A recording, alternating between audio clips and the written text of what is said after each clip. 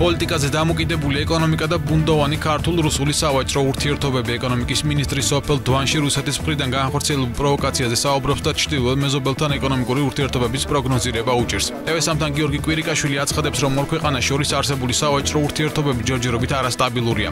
ძალიან კარგია რომ ჩვენ ვაჭრობა გვაქვს რუსეთთან, მაგრამ ძალიან ცუდია რომ რუსეთი აბსოლუტურად არაადეკვატურად აღიქონს ჩვენს ასე ვთქვათ რეალობას. ეკონომიკის მინისტრის პოზიციას იზიარებენ ექსპერტები თემურ გიორღელიძის განცხადებით რუსულ ბაზარზე ქართული პროდუქციის რეალიზაციის მიუხედავად ორ ქვეყანას შორის სავაჭრო ურთიერთობები მყარი არ არის. მისი განმარტებით ის მცოცავი აგრესია, რასაც რუსეთი საქართველოს მიმართ ახორციელებს ქართულ-რუსული ურთიერთობების გაუმჯობესებას უშლის ხელს.